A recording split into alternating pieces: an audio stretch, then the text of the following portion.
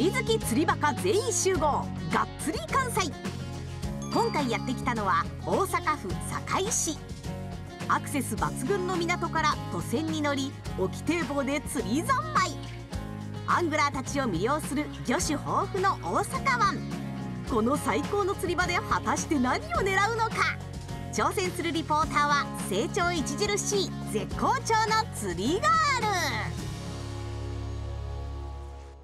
皆さんおはようございます。ワイパーワイパーワイパー手がワイパーになりました。のぞみです。よろしくお願いします。はい今日は大阪は堺に来ております。まだちょっと朝の4時前ということで辺りはまだ真っ暗ですけれども今日はですね私が1回もまだやったことのない釣りに挑戦できるということなんでちょっと不安もありつつ今日も絶好調でいきたいと思います。それでは今日一緒に釣りをしてくれる方を紹介しましょう。この方たちです。よろしくお願いします。おはようございます。おはようございます。よろしくお願いします。お願いいたします。今回のぞみちゃんと一緒に釣りをするのはあらゆる釣りに精通しタックルや仕掛けのスペシャリスト大縄張りスタッフの西浦信之さん。そしてもう一人釣りに関する知識は超一級さまざまなフィールドで釣りを心から楽しむマルチアングラー大縄張りスタッフの大東哲也さんです。今日はですね、はい。秋の鳩を満喫するということで、はい。えー虫ヘッド重宝という釣り方で、うん。まあ五目釣り、虫ヘッド。はい、虫を使うってことですかねまああの一応虫も使うんですけれども、まあ白鯛エビだったり池餌、まあいろんなものを使ったりもします。餌を使ってはい、なるほど、私は虫ヘッド担当で、うん、お癒しの方はのませ釣りを担当します。担当分かれてるんですね。担当がちょっとね青物はい。と小物大物小物で分かれてるんで。なんかその言い方ちょっとあれですね。いやいやもっと違う言い方なかったいやいやそっちの方が分かりやすいかなと思いまして。はい。大物って言ったらブリとかですか？そう目指せブリメ目指せブリ。メジロどうやって釣るんですか？えっ、とね飲ませ釣りアジを釣ってそのまま来たアジを泳がして釣るっていう形で、なんかめっちゃ難しそうじゃないですか。いやもうアジさえ釣れればあとは、うん。あのアジ任せなんで。えじゃあまずアジを釣らないことには話にならない。はい、もう暗いうちは大東はもうアジ釣りに専念してますんで、じゃあ今日は小物も大物ももうとにかくたくさん釣れる釣り三昧で。あありがとうございます。合わせていただいて。よろしくお願いします。お願いします。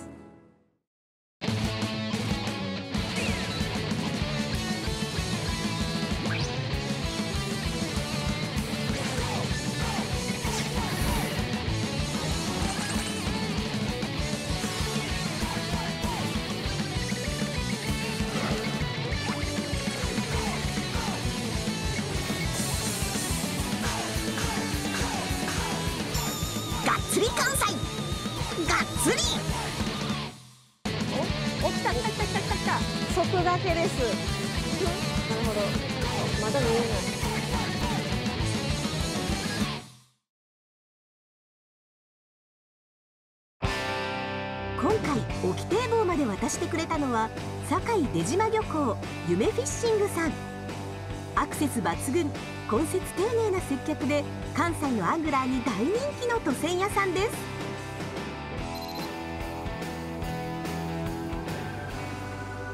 まだちょっと暗いですけれども、はい。この暗い時間から早速釣り始めるっていうことですよね？そうですね。こはい。の暗い時間は寝魚がいい試合なんで、小物の時間？小物。まあ、はい。でも小物といえども、うん結構大きいのいますんで、えもう結構このぐらいとか。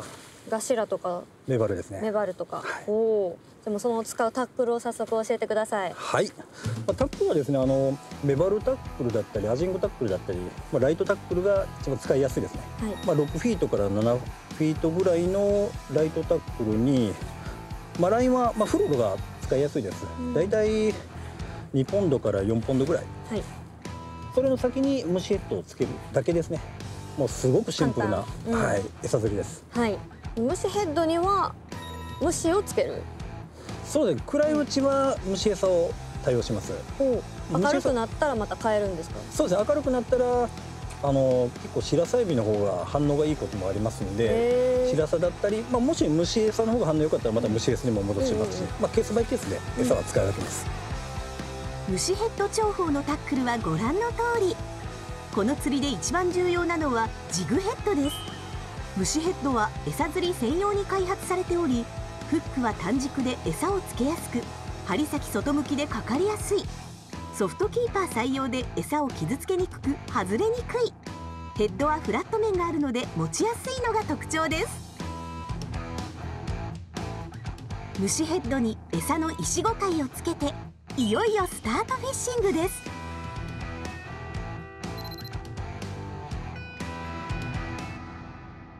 足元を探る釣り方でまずいきます。はい。鳩際か底ですね、まあ、結構あの根魚って落ちてくるものに反応しますんで、はい。この落ちてくる最中にも当たりが多いです。う、んうんうんうん。まあそこつくまでに何かまあ糸の出が止まったりとかもう違和感感じたら、まあ、ちょっと一呼吸置いてからはい。合わせてください。あのルアーだと結はい。構底合わせしないといけないじゃないですか、うんうんうん。あの餌なんで、まあ、結構もうずっとほっとってもガジガジガジガジずっと食ってくれるんで楽です。ちょっと底つきましたね。来ました。はい。でゆっくりあ巻くんですね。巻き上げる、これも表層までゆっくり巻き上げてくあださい。上まで上げるんですか？そうですね。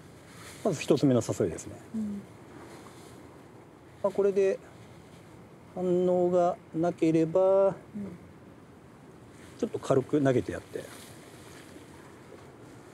でまたそこまで落として斜めに誘い上げてくる、うん。ガシラだけを狙うんだったら、まあ、あのキャストするか真下に落として歩い歩くかして。歩くんですか？そうですね。例えばその投げたところから歩いてええやると、まあ、あのきっちりと鳩際を平行に引くことができるんで、はい。まあ、今はちょっと投げましたけど。うーん。相手根魚なんで、うん。まあ、そんなに活発には動かないんで当たりがなかったらもう自分で動くかキャストするかがベストですね。うん虫ヘッド重宝で鳩際の狙い方は真下に落とし着底後ゆっくり巻き上げ誘いをかけ当たりがなければ少しずつ移動して探って食わせる釣り方。少しキャストして斜めに巻き上げて広範囲にさまざまな水深を探り食わせる釣り方。ガシラなどそこにべったりいる魚を狙うなら真下に落としそのまま自分が横に移動しそこを平行に探る釣り方などがあります。海の状況を見ていろいろな釣り方を組み合わせてのぞみちゃんも釣ってみてください。であ当たった。ファーストヒットは西浦さん。これガシラちゃんですね。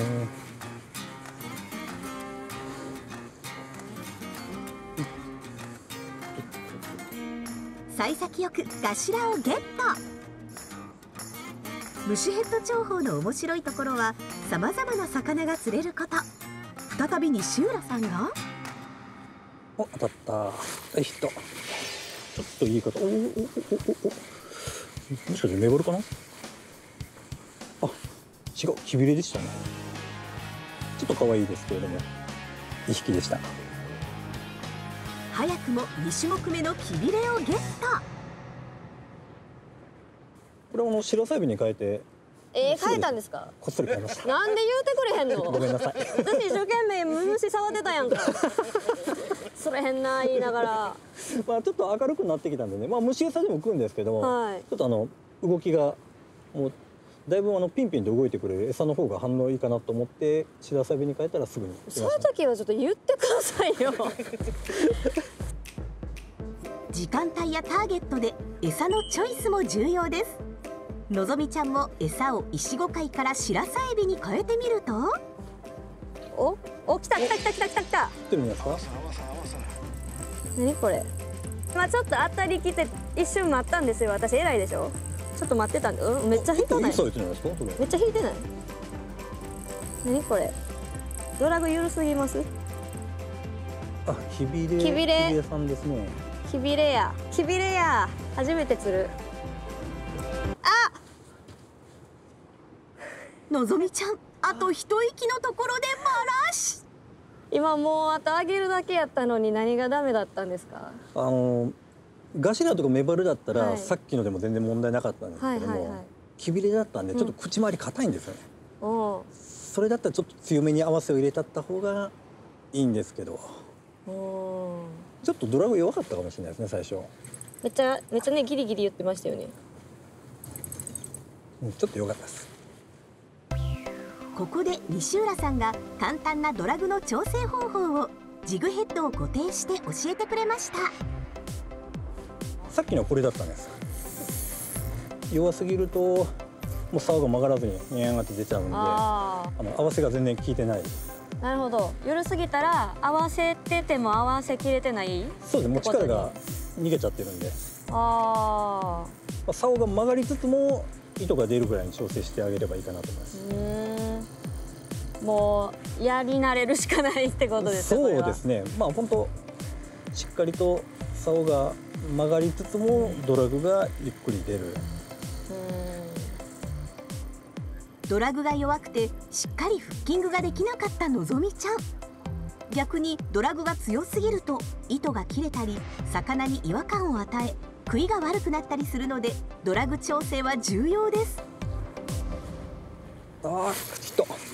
たら順調にヒットを重ねる西浦さん。あいやメバルだ。おおメバル。お来た。おおお。だね。そしてのぞみちゃんもついにヒット。おこの子は。この子は。よいしょさっきと一緒。よかったリベンジ達成。ドラグも調整し今度は見事にフッキング西浦さんはメバルで3目達成です。コツさえつかめば釣りまくるのが絶好調釣りガールののぞみちゃん。なんと高級魚のアコウをゲット。そして続けざまに餌取りのフグをゲットし3目達成。あ当たった。そして西浦さんはさらに絶好調です。のぞみちゃん同様高級魚のアコウをゲットしそして餌取りのフグもゲット。これで5目達成。さらに超レアな魚までも釣り上げました。胡椒だよ。マニアなんすかそのエントさが多分胡椒台系だと思うんですけども私これ初の初めてですわ。まあ虫ヘッドならではですね。あんま釣れないんですか？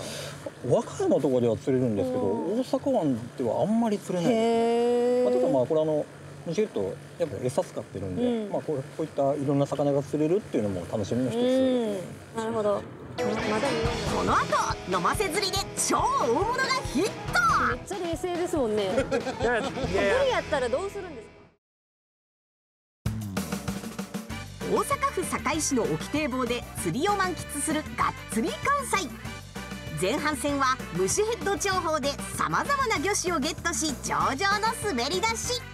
果たして後半戦はがっつりがっかり？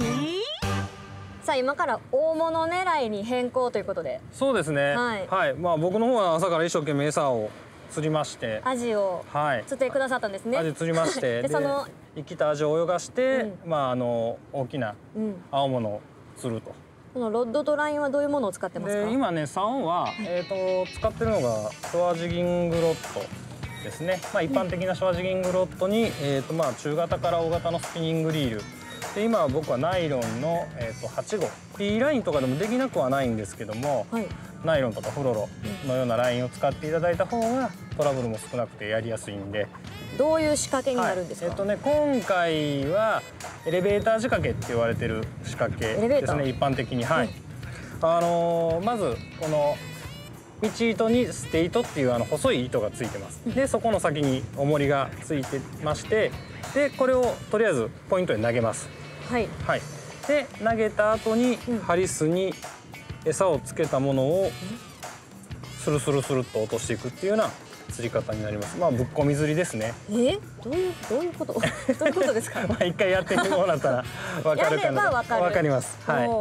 まあまあこの仕掛けの特徴としてはやっぱ潮の速い。エリアとか、であと遠くのポイントを探れるっていうのが、へあのいいところになるんで、なんかいっぱい持ってるんですけど。はい。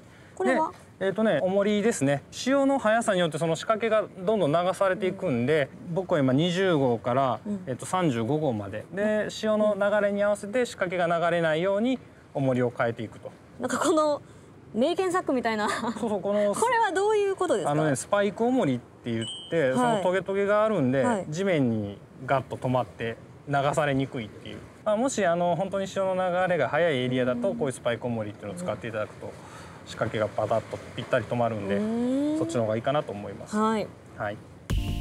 飲ませ釣りのタックルはご覧の通り。ラインはトラブルが少ないナイロンを使うことをおすすめします。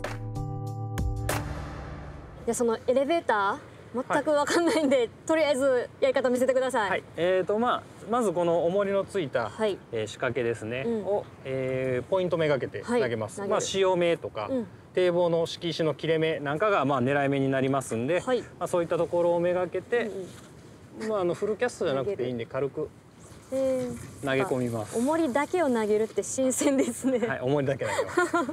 はい、着底したらはい、一旦軽く糸吹きをはい取って、、今まだ何にもついてない状態ですね。そうです。重りだけが。ね、そしてさっきのこのハリスですね、はい。ハリスにうん。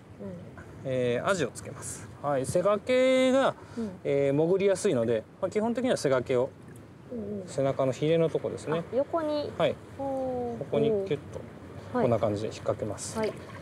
アジがついたハリスをですね、はい。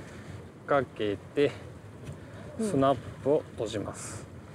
で投入ですね。えー、で、ロえープウェイ方式じゃないですか。そうでアジをはい。今度は潜らせたいので少し竿をはい。立てます。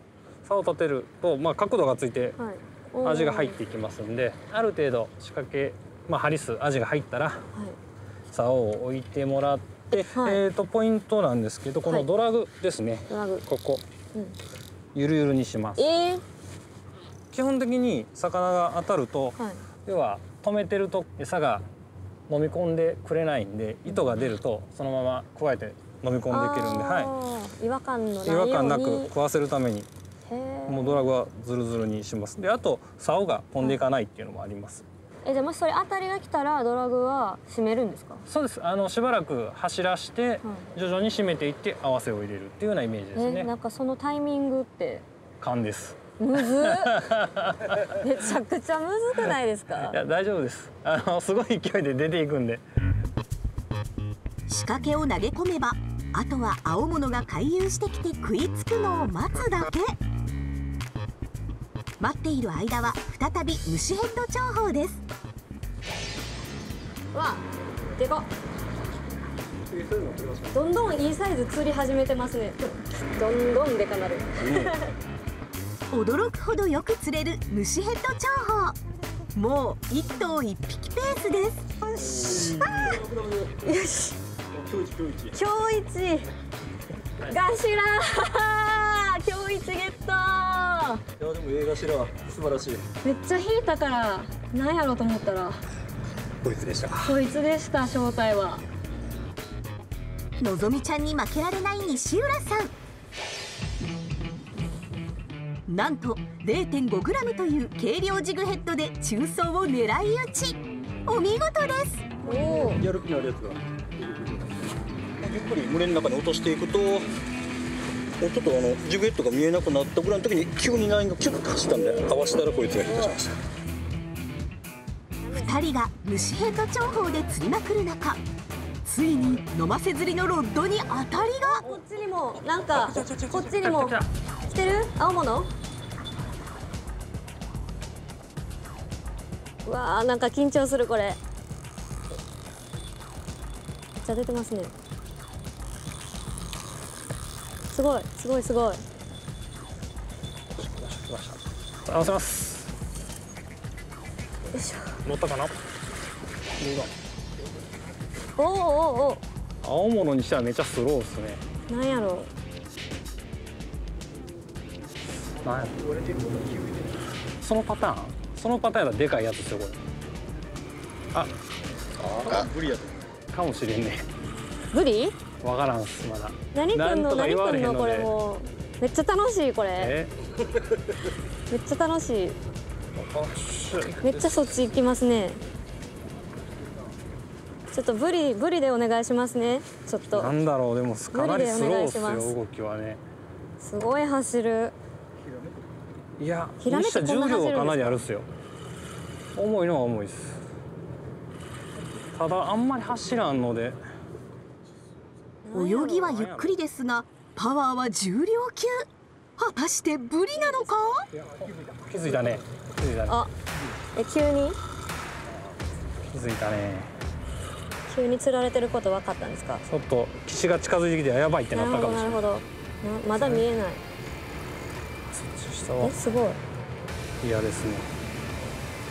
釣られたことに気づき抵抗してきました。かなりの引きですまああのねえっ、とブリとかメジロとか、まあハマチなんかは根ざ根に突っ込むような魚じゃないんで、うんまあ慌てず。だってめっちゃ冷静ですもんね。ゆっくりブリかもしれへんのに。ブリいやいや。いややったらどうするんですか？ちゃうやっぱええやああえいえいや。ええややっぱり。でかいでかいエイが。残念重いと思ったんや。大物の正体は巨大な赤エイブリでなく残念でした。エイの尻尾には毒針があり危険なので引き上げずにそのままリリースすることにしました。えいでしたね。ねはい。え何が来るかっていうこのワクワクドキドキ。たまらんでしょ。すごかったですね。次やりますか。やりたいです。次やりましょうか。次やりたい、ね。飲ませ釣りのドキドキ感の虜になったのぞみちゃん今度こそは大物と再びチャレンジです。ただただ祈ってる。しかしこの日は青物の回遊はなく午後4時ストップフィッシングです。さあというわけでお疲れ様でした。お疲れ様でした。いやーいっぱい釣れましたね。もうなんか7魚種いろんなもの釣れました、7魚種、素晴らしい。まあ、あのルアーだけでやってると結構その地合いでバタバタっと食ったりすることはあるんですけど、まあ、餌使ってるんでやっぱりもう、その時間時間に応じた魚がもう、まあ、ずっとコンスタントに釣れたって感じ。そうですね。時間によって釣れる魚種が変わりましたもんね。めちゃくちゃ楽しかったです。でもね青物楽しかったですよ。楽しかった。楽しかったですよ。海をぼーっと眺めてる感じが非常に楽めちゃしかったな。めちゃ病んでそうなんですけど でも回遊してきたらチャンスはたくさんあったのにってまたまねちょっとご機嫌斜めでしたけど、うん釣ねれる時は本当にブリもすぐ釣れるんですか？はいすぐ釣れます。すぐ釣れる。すぐ釣れそういう時にまたもう一回行きたいですね。そうですね。はうん今日は一日釣り三昧。はい。楽しかったですすごい